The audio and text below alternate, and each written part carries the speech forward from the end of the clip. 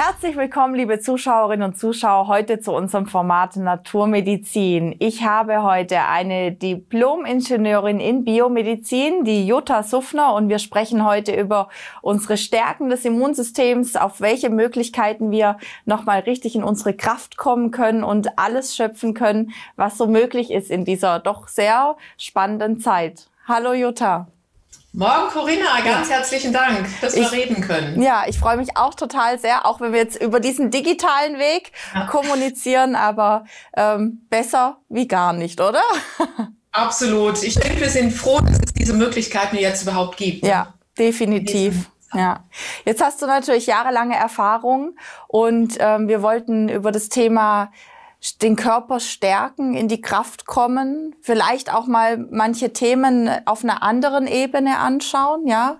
Wenn das Immunsystem kränkelt, hat es immer was mit außen oder mit innen zu tun? Also was sind da so jetzt deine Erfahrungen aus den letzten, ja, sage ich mal, Monaten? Da hat sich ja doch einiges zugespitzt an Themen, würde ich sagen.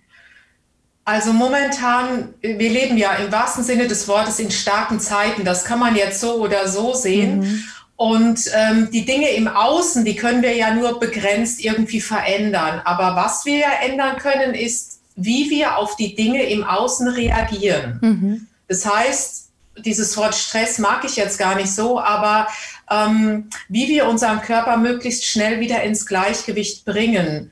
Und die zentralen Dinge dabei sind ja Immunsystem, kennt jeder, dann das Wort Stress und auch unser Herz über letzteres reden wir nochmal mhm. detaillierter. Ähm, und viele Leute, man, man redet immer über das Immunsystem, aber vielleicht sollte man auch nochmal erklären, wie das überhaupt entsteht, dass man dadurch die Bedeutung mehr ähm, erachtet, was man auch zu sich nimmt, wie wichtig das ist, mhm. weil ähm, wir haben ja ein angeborenes, erworbenes Immunsystem, das, das kennt jeder. Wir kommen so als kleiner Böpple da auf die Welt, sind schon mit Milz, Lymphknoten und so ausgestattet.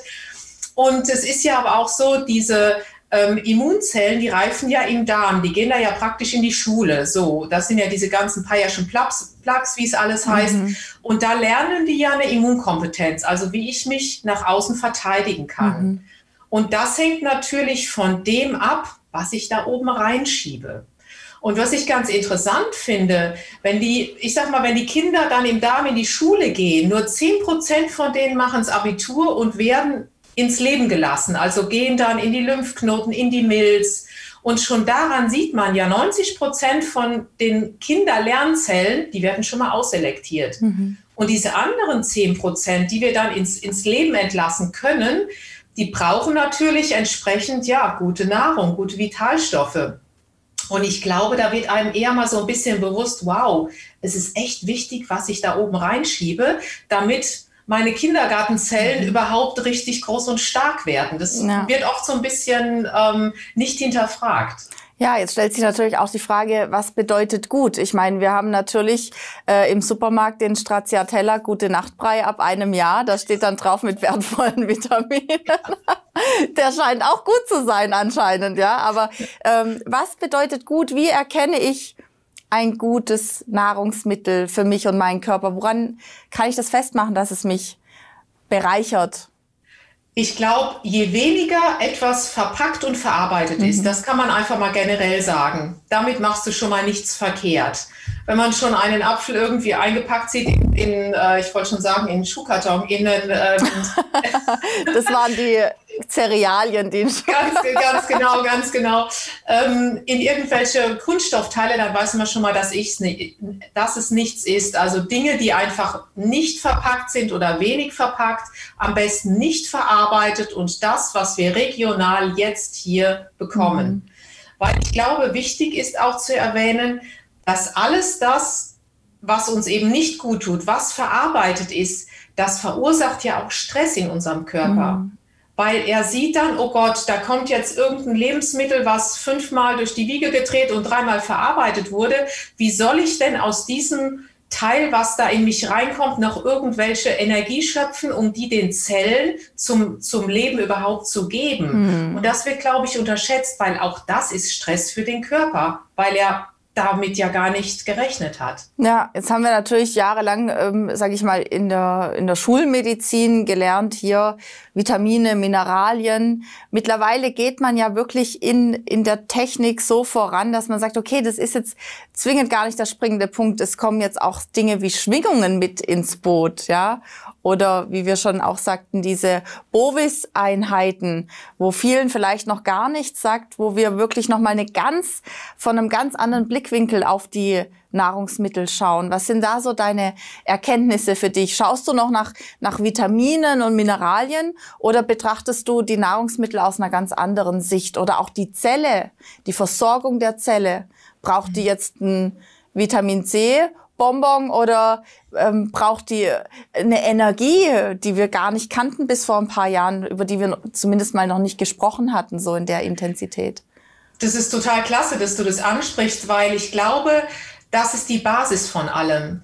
Diese Inf also auch wenn zum Beispiel eine Pflanze, die wächst draußen, die wächst draußen in der Natur und die nimmt ja von der Sonne Information auf, die nimmt Sonnenlicht auf mhm. und diese Information speichert sie und je karger das Umfeld, je mehr sie sich gegen diese ganze Umwelt ähm, ähm, abwehren muss, desto ja. mehr Abwehrkräfte entwickelt sie natürlich. Können wir ja auch Und, auf den Körper als Resilienz übertragen, oder?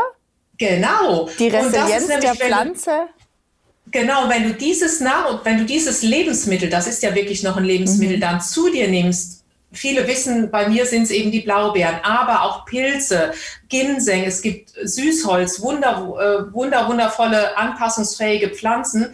Wenn du diese Pflanze dann zu dir nimmst, kann man sich ja vorstellen, wow, ich nehme ja dann sozusagen diese Lebenskraft der Pflanze auf und die kann dann in mir, mir helfen, diese Information für mich, für meine Energie, für die Zellen zu nutzen. Mhm. Denn wie du schon gesagt hast, alles ist Energie und alles ist Information. Auch wir zwei, wir reden ja jetzt mhm. miteinander. Das ist eine Information, die wir austauschen und nichts anderes. Ja, ja. Und deswegen ist es natürlich unbedingt wichtig, auf den Vitalstoff, auf den Nährstoffgehalt zu achten. Gar keine Frage. Aber eben auch in Kombination, was für eine Pflanze nehme ich denn jetzt zu mir? Wo ist die aufgewachsen?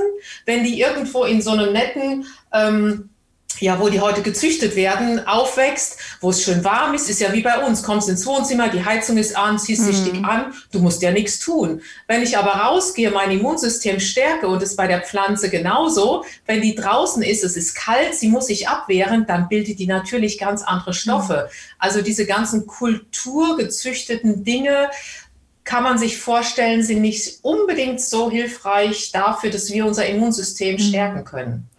Jetzt hatten, haben wir ja heute unser erstes Interview. Jetzt meintest du deine Blaubeere. Was hast du da genau ähm, damit gemeint? Ähm, Ach so.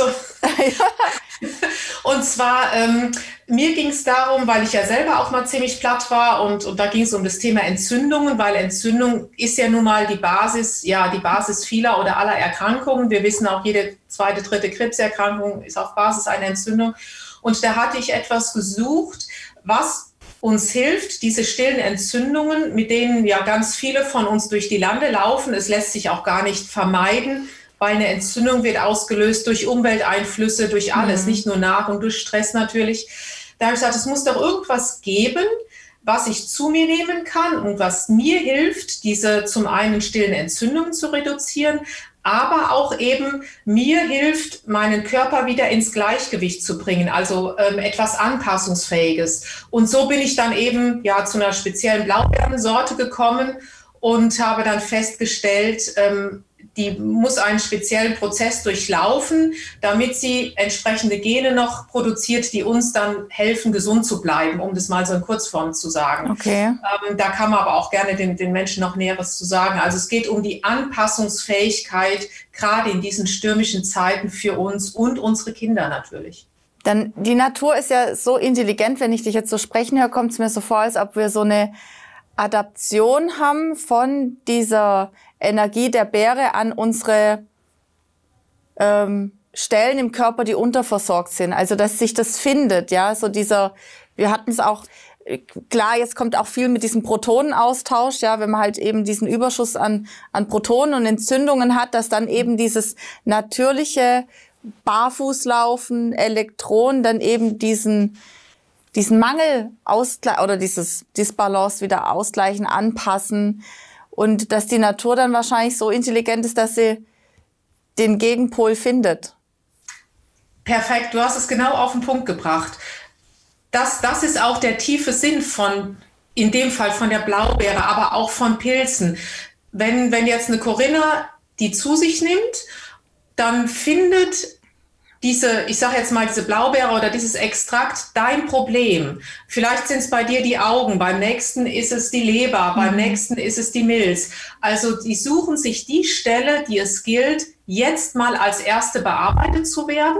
Mhm. Und damit hilft es dir als Corinna wieder in deine Kraft zu kommen, weil ich glaube, das ist ja unser Ziel von allem, nicht von irgendwas abhängig zu werden, von einem Therapeuten, von sonst was, sondern dass du etwas nimmst, was dir hilft, deine Ordnung, deine Ordnungstherapie von selber wieder mhm. anzustoßen. Ja, ich denke auch dieses, vielleicht auch dieses achtsame Umgehen mit den Bedürfnissen, die man hat, ja, dass man, wenn man sagt, hier, ich möchte was Süßes, dass man sich vielleicht auch dessen bewusst wird, okay, süß war früher in der Natur, reife Früchte, reife Früchte waren sehr nährstoffreich, vielleicht fehlen meinem Körper jetzt eben Nährstoffe, macht jetzt vielleicht auch keinen Sinn, eine Gummibärchentüte mit 70 Würfelzucker zu nutzen, um dieses Defizit aufzufüllen, sondern wirklich mal reinzufühlen, was kommt mir denn in den Sinn, ja? Und das, das ist ganz wichtig. Ich glaube, dass wir wieder zurückgehen können zu unserer Intuition. Also, dass wir wieder spüren, ähm, wer mich kennt, weiß zum Beispiel, ich liebe Gummibärchen. Also, da hast du ein interessantes Wort angesprochen. Und, äh, aber dass man sich eben hinterfragt, warum nehme ich die jetzt? Mal zwei, drei ist ja gar kein Thema. Ähm, aber es hat ja einen Grund, warum ich die jetzt gerade möchte. Und dass man dann sagt, komm, dann esse ich eben einen Apfel, der gibt mir ja auch die Süße. Oder eine Banane, wo ich direkt noch ein wundervolles Kalium habe. Äh, was Kalium ist wichtig fürs Herz und bringt da wieder meinen, meinen ganzen Herz, Herzrhythmus mhm. ins Gleichgewicht. Dass man sich mal hinterfragt, mein Körper signalisiert mir ja das, was ich gerade brauche. Und das ist echt ein Riesengeschenk. Wenn wir da mal wieder lernen würden, drauf zu hören, dann steht der Gesundheit nichts mehr im mhm. Wege. Ja. Früher hat man ja auch äh, einen klassischen Schnupfen, Bronchitis, ähm, Erkältungssymptome abgetan als, okay, da habe ich mir einen Zug geholt, was ja heutzutage bei den Schulkindern durchaus passieren kann bei 15 Grad. Äh, das ist nochmal ein anderes Thema, aber ähm, gibt es auch andere Perspektiven, wo ich meinen Körper auch nochmal betrachten kann, um zu gucken, warum habe ich jetzt gerade in dem Punkt eine Schwachstelle? Warum läuft mir die Nase oder ist verstopft? Schaust du da nochmal anders hin oder denkst du, na okay, Immunsystem schwach, hauen wir hoch oder können wir da nochmal thematisch äh, einen anderen Blick drauf werfen? Ähm, ich glaube, da, das mache ich genauso wie, wie auch bei dir. Ähm, es gibt ja immer eine Ursache, warum du etwas hast. Also wenn ich Halsschmerzen habe, kann es ja sein, vielleicht möchte ich etwas nicht aussprechen. Was möchte ich nicht aussprechen? Oder in dieser Zeit, ich nenne es jetzt nur mal C-Punkt-Zeit, ähm, die ja vermeintlich sehr auf die Lungen geht. Die Lungen stehen immer für Beziehung. Ähm, eine Beziehung zu mir selber natürlich, also alle paarigen Organe wie Nieren, Lunge. Ähm, das hat ja einen Sinn. Warum geht dieses C-Punkt-Teil gerade auf, auf die Lunge? Warum ist dieser Mensch schwach und bekommt dann eine Lungenentzündung? Die mhm. bekommt er ja nur, weil er vorher nicht im Gleichgewicht war. Oder zum Beispiel Leber, Gallblase. In letzter Zeit, also oder ist mir aufgefallen, das Thema Angst ist ja nun mal leider sehr ähm, ja, ist ein Tagesthema. Man geht raus und sieht Menschen, die bedeckt sind mit diesem Teil da, äh, sieht nur die Augen, aber die Augen sprechen dich ja an. Und äh, da spricht einfach eine reine Angst raus. Mhm. Und diese Angst ist etwas, was auf Leber und Gallenblase geht. Angst, Wut, Ärger. Und solche Menschen entwickeln dann oft Störungen, die mit der Leber zusammenhängen. Deswegen ist es mir auch so wichtig, ähm, wie Oma schon früher gesagt hat, legt euch mal mittags hin zwischen eins und drei, weil das ist unsere Leberzeit, macht man Leberwickel. Das hört sich jetzt so banal an, aber das kann so viel unterstützen, ähm, dass wir mal wieder so diese alten Dinge rausholen mhm. und schauen, was können wir denn da für unser Immunsystem tun. Und das muss nicht teuer sein. Oder ich starte zum Beispiel jeden Morgen, das ist schon wie, wie Zähneputzen, erst ein Glas warmes Wasser mit einer ausgepressten Zitrone. Ich kann gar nicht mehr anders. Ähm, ich könnte nie irgendwie direkt, was weiß ich, Müsli essen. Du gewöhnst dich irgendwann so daran, dass dein Darm, der sagt dann, boah, super, jetzt werde ich erst nochmal durchgespült, ich kriege eine Ladung Vitamin C ähm, klasse. Und jetzt können wir mal in den Tag gehen. Das sind so einfache Dinge, ähm, die wir jedem an die Hand geben können. Hm. Ja. Morgens Vitamin C, dann ähm, eben diese biologisch gut angebauten Nahrungsmittel, dann auch eben dieses achtsame Umgehen. Ähm, was brauche ich denn jetzt eigentlich? Ähm, Gibt es aus deiner Sicht auch wirklich Immunsystem ähm, schwächende Alltagsbedingungen oder auch Nahrungsmittel, wo du sagst, das wurde so uns integriert als was Gutes und ähm, im Grunde hat es eine ge genau gegenteilige Wirkung, wie jetzt unser Stracciatella Gute Nachtbrei zum Beispiel. Genau. Also ich meine, wir wissen alle, also das, wo ich relativ stringent bin, auch bei Menschen, dass ich sage, lasst bitte den Weizen, zumindest den deutschen Weizen weg mhm. und Kuhmilchprodukte. Weil Kuhmilch ist toll für ein Kalb, genau wie die Muttermilch fürs, für den Säugling. Aber ansonsten ist das einfach nur eine Substanz, die unsere Zellzwischenräume verschlackt. Also die Information kann da nicht mehr von Zelle zu Zelle weitergeleitet werden. Das ist dann wie äh, der, der Mikronährstoff will von Zelle A zu Zelle B und wumms und fließt dann in so eine Masse rein, die einfach verschlagt. Dieses ganze Matrix, diese, dieses ganze intrazelluläre Bindegewebe ist verschlagt. Deswegen sage ich, wenn es geht, bitte reduzieren. Es gibt tolle Alternativen heute. Mandelmilch, Kokos, ähm, Kokosmilch, ähm, Hafermilch natürlich, also einfache Dinge, durch die man es ersetzen kann. Und Weizen macht Mikroentzündungen. Und alles, was eine Entzündung beflammt, mhm. macht einfach Sinn, wirklich wegzulassen. Ja. Zucker natürlich. Ich meine, das wissen wir beide. Und deswegen, das sind so die beiden großen Dinge, wo ich sage, wenn man die schon mal weglässt, und ersetzt durch Dinkel, durch Emmer, durch naturreine Getreidearten, habe ich schon mal viel, viel gewonnen. Ja, gerade der Darm spielt ja auch eine wichtige Rolle. Da habe ich auch immer wieder so Beispiele gehabt, wo Leute mit chronischen Darmblutungen, ja, wo, wo man wirklich tendenziell sagt, okay, was richtet Entzündungen an? Milch, Getreide, ja, dann kommst du damit ins Krankenhaus, kriegst die Aussage, das ist jetzt chronisch und kriegst erstmal Misch Mischbrot und einen Joghurt. und ich denke mir, ja klar, bleibt es chronisch, wenn, wenn man genau den Trigger jetzt auch noch serviert bekommt, ja. Ja, und ich glaube, hier ist ein Riesenpunkt.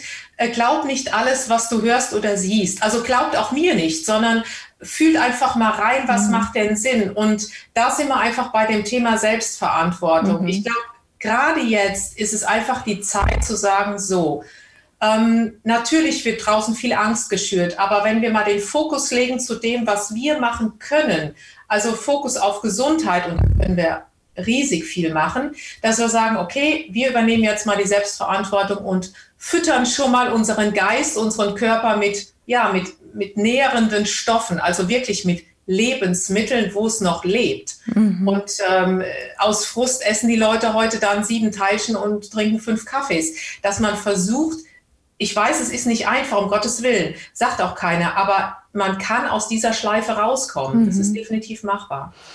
Wir hatten es ja auch schon über Frequenz. Du siehst ja auch den ganzen Menschen und, und Worte haben ja auch eben ihre Kraft. Gibt's ähm, kraftvolle Sätze für deine Patienten, wo du sagst, okay, das ist gerade in der Zeit ein guter Satz, mit dem man mal wirklich ins, ins, ja, ins Bett gehen kann oder sich mal morgens am Aufstehen, beim Aufstehen mal immer so ein bisschen mantramäßig fünf Minuten mal einpflegen darf? Was ganz wichtig ist, das mache ich ja auch hier bei meinem Delta-Scan. Ich, ich ähm, ich schwinge dann sozusagen diese Sätze auf Globulis individuell für den Patienten. Und vielleicht mal ein Beispiel. Mich, mich rief letzte Woche eine Dame an, wie alt war, Mitte 60 und sagte, ja, ähm, gerade jetzt in dieser Zeit, ich habe immer so Schmerzen. Ich sage, wie lange haben Sie die denn? Ja, mein ganzes Leben lang und jetzt in dieser Zeit wird das noch mehr verstärkt. Dann habe ich sie gefragt, wie fühlt es sich denn für Sie an, wenn Sie sagen, ich habe das Recht auf ein schmerzfreies Leben? Und da fing sie an zu weinen. Also das hat sie natürlich total getriggert, weil ihr einfach bewusst wurde, sie hat sich gar nicht mehr erlaubt, mhm. ein schmerzfreies Leben zu führen. Mhm. Und dann habe ich ihr diesen Satz auf Globuli geschwungen und den nimmt sie, also ich sage mal, diesen Satz in Form von Globuli nimmt sie jetzt jeden Abend auf. Und es ist Wahnsinn, also da kommen dir teilweise echt die Tränen, was das in den Menschen mhm. bewirkt. Und genau da sind wir ja bei dem, was du sagst. Die Information, die Macht der Worte. Ähm, was mir auch letzte Woche passiert ist, ich habe ja eben nicht so einen Lappen vom Mund, sondern gehe ganz normal einkaufen aufgrund eines Attestes. Und du wirst ja auch von den Menschen angesprochen. Und anfangs ist es eine Angst, dass sie einen anschauen und denken, oh Gott, naja, ist die jetzt auch Risikogruppe? Hm, über 50 ist sie ja. Wenn man aber dann einfach mal fragt, wovor habt ihr denn Angst? Da kommt erstmal nichts. Und dann mal wirklich natürlich seriös, also wirklich mal in Ruhe den Menschen erklärt, so und so ist es, das und das kann passieren und so.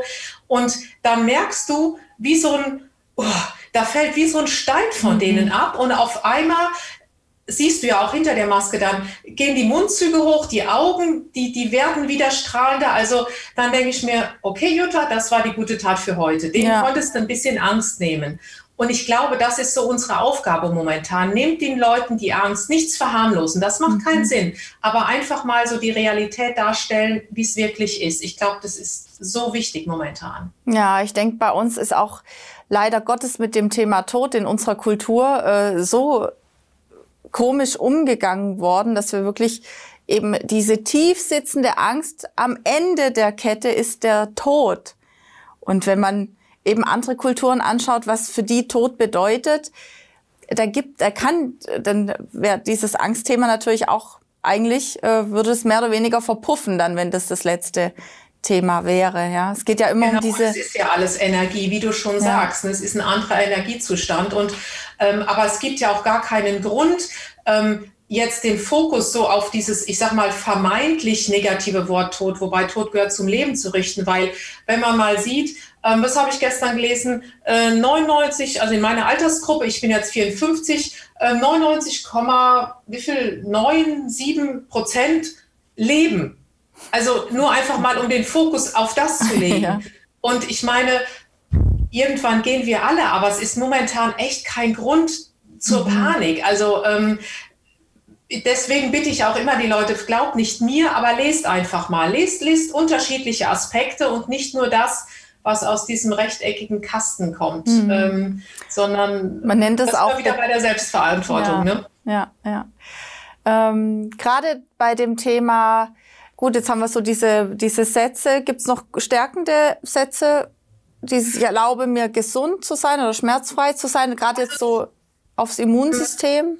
Das Verrückte ist, es ist oft ganz, ganz individuell. Mhm. Und was ich ähm, oft sage, ähm, schreibt euch doch mal einen Satz auf. Mhm. Setzt euch mal hin, nehmt euch mal einen Zettel. Was fühlt sich an? Zum Beispiel, wenn ich sage, ich bin dankbar für mein Leben, fühlt sich für mich schon sehr gut ein. Vielleicht sagt ein anderer, nö, ich bin dankbar für mein Leben. Hm, nö, ich bin eher dankbar, ich sag mal, dass ich eine gesunde Familie habe. Also mhm. jeder hat einen Satz, der für ihn anders ist. Und es hilft auch schon, sich diesen Satz wirklich mal aufzuschreiben. Wenn Tränen kommen, super, dann weiß man nämlich, ich liege hier total richtig. Mhm. Und ruhig diesen Satz, es, es, der muss ja nicht von mir auf Globuli informiert worden sein, in die Hosentasche morgens durchlesen, abends durchlesen. Wir haben alle Handys, man kann es sogar aufpoppen lassen, ein paar Stunden. Ja. So diese ähm, ich vertraue in meine Selbstheilungskräfte ist sehr kräftig für viele Menschen oder ich vertraue auf die Zukunft. Und wenn man sich da morgens schon drei, vier Sätze nur mal vorspricht, am besten vorm Spiegel, auch wenn es komisch vorkommt, du wunderst dich, was das mit dir macht. Du fängst mhm. irgendwann an zu grinsen. Ja, schön. Du hast ein ganz anderes Lebensgefühl und gehst ganz anders in den mhm. Tag rein. Super. Liebe Jutta, unsere Zeit ist schon rum. War super oh. schön mit dir. Ähm, viele schöne Aspekte haben wir jetzt doch gesammelt, wo man mal hinschauen darf in der Zeit. Und mhm. wenn man sich weiterhin informieren möchte zu dir, zu deiner Arbeit, wo findet man dich denn? Also am besten www.jutasufner.com, das ist die Homepage, mhm. und äh, oder info@jutasufner.com. Wer mich finden will, der findet mich sowieso. Unsere Blaubeere ist bei www.bluentalks, ähm, aber auch da einfach mich ansprechen und ähm, ja, einfach Jutta Suffner googeln, da gibt es ganz viele Interviews. Ihr findet mich schon. Super. Vielen Dank, liebe Jutta. Ich wünsche dir noch eine gute Zeit und ich hoffe, dass wir uns bald live hier im Studio sehen werden. Danke, Corinna, und ja, auch euch eine schöne Zeit in die Schweiz. Ja, danke schön. Liebe Zuschauerinnen und Zuschauer, ich hoffe, Sie konnten auch von Jutta Suffner die Tipps und Tricks zur Stärkung des Immunsystems mit aufnehmen und für sich was rausziehen. Achten Sie immer darauf, dass Sie Ihre individuellen Puzzleteile so zusammenfügen und dann schließt sich bestimmt ein toller Kreis zusammen. Gute Zeit wünsche ich Ihnen und vielen Dank fürs Zuschauen. Tschüss.